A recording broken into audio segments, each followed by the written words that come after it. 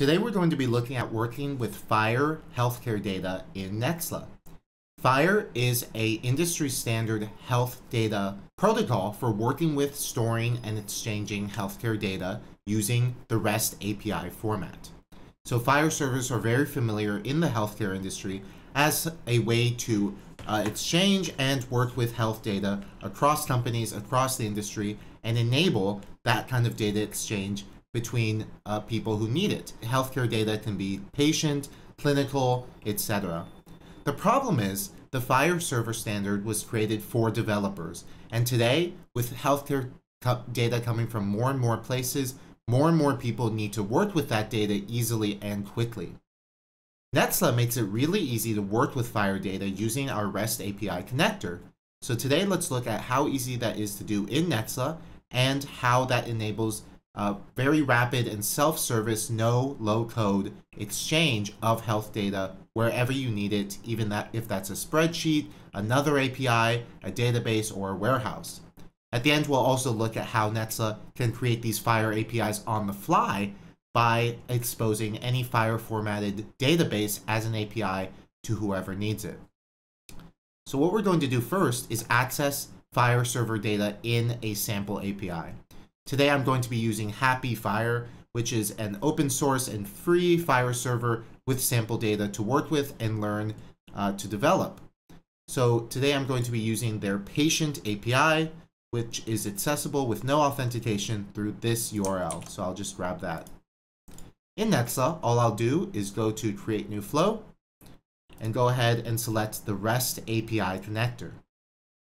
This makes it really easy to templatize and connect to any FHIR API simply by just inputting the credentials here. So all you need to do is put in the URL, any kind of authentication if needed, and save it. So let's look at my FHIR server test. As I mentioned, this API doesn't have any authentication, so I'll just put the URL there and just click save. Nexla will now connect to that, authenticate, and we can click test here to see a few sample records and confirm, yes, this is patient data. We can already see here, we have some names as well as the health data below from the sample HAPI FHIR API.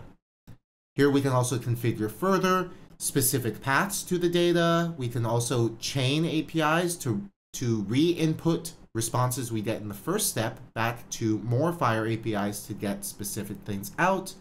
But for today, let's look at the simple use case of just pulling this data out of any FHIR server. So I'll go ahead and click create. And now what Nexla will do is look at all of the data it finds in this API and organize it into a data product that we call a Nexset. So it's already done doing that. And now this data product is what really unlocks quickly and easily working with this data getting it in the format and transformation and sliced, filtered subset you might need, and send it to any destination you can think of. So I'll go ahead and name this just for this demo, FHIR server data. And first let's look at transforming and slicing this data. So I can go ahead and click transform. And now we can apply any prepackaged transformation that comes with Nexla. For example, we can see this API is very nested in entry, resource, then we have this metadata and name array. Nexla makes it easier, easy either when we added the API to pull out that path, or we can go ahead and work with this array by extracting different elements, pulling those out, even hashing any sensitive information uh, for this new Nexset that we might need. So we have an MD5 hash there and as well as other transformations, including IP address, uh, mathematical, etc. So for today, I'm just going to directly replicate, but it's easy otherwise to select those, extract, and simply apply these transformations.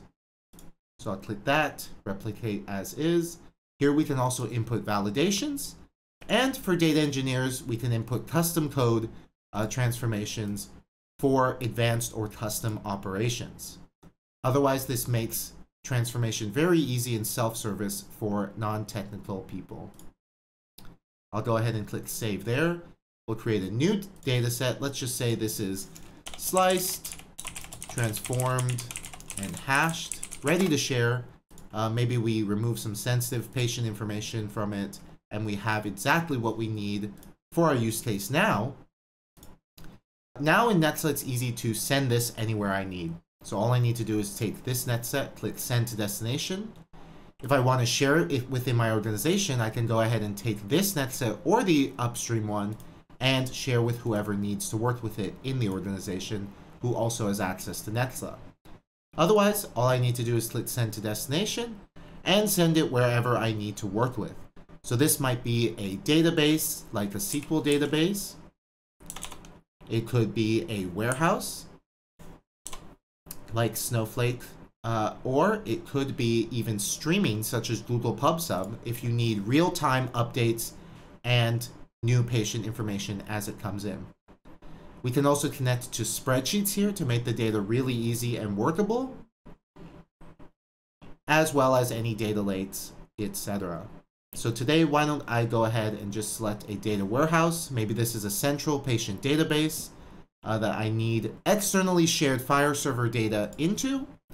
Go ahead and click that, add any credentials, similar thing, go ahead to, to connect to it and maybe I already have a table or maybe I need to create a new table here that's FHIR and we'll have all of our attributes once we've pulled those out and extracted them. Otherwise uh, we have this one array and just like that data will begin flowing through this to the warehouse so you can see how quickly and easily I can do this myself work with it and unblock myself to work with this data and get it where I need quickly, easily, and safely.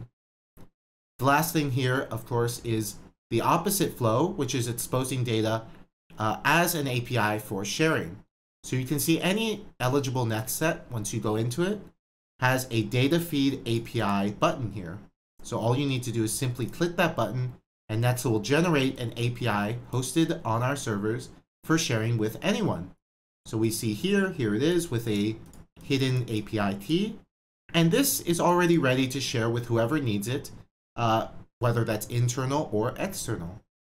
So this is really useful if you have a database, you need to quickly turn it into a FHIR server to share externally uh, with anyone. So we have a SQL database here. Once you have that Nexset, simply click the data feed API, and now you have a data feed API to share with whoever needs it on the fly as quickly as that. So I hope you can see how quickly and easily it is to self-serve this FHIR data uh, connection, integration, and transformation using Nexla. And this really enables FHIR to be that health data exchange between and across companies and organizations as it was first imagined. Now it's easy to do that for everyone, not just developers. And developers are enabled to uh, do custom code and advanced operations without worrying about this straightforward data connection. Thanks for watching, and if you're interested in a demo or free trial, please reach out to us and we can talk about your specific use case.